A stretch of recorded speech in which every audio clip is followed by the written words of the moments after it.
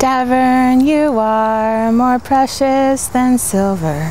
Davern, you are more costly than gold. Davern, you are more beautiful than diamonds, and nothing I desire compares to you. Um, so yeah, music was a big part of Davern. Um, lots of singing at the top of your lungs all the time. Uh, you get on the bus at uh, the West End Y, I believe, and um, you're all packed in there with your partner.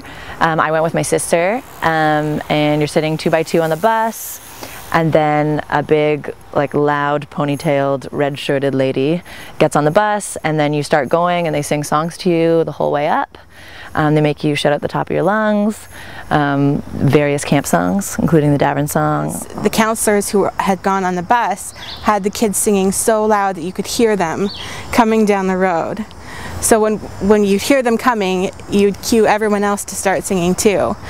So there'd be like this duel between the kids who were there already and the, the kids coming on the bus until they all came together. One of the songs that I learned that I continue to sing to my grandchildren is a song called Alleluia, I'm a Bum.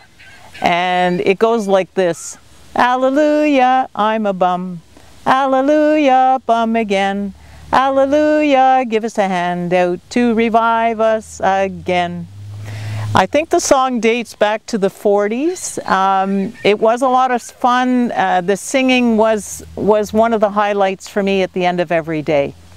Course, one of the things I think especially with girls was the singing was so good. And I remember Morning is Broken, I always remember. And there was a song, I was at a funeral recently and it was, uh, it was one that um, I can't remember now, but it was one that we used to sing at camp, and I hadn't heard it in years. One of the, the most special things about camp were the songs. We always sang at mealtime, and uh, um, if it was your birthday, you had to run around the dining hall while you had your birthday. But one song that I do remember, and I taught it to my kids, is okay, here we go. go.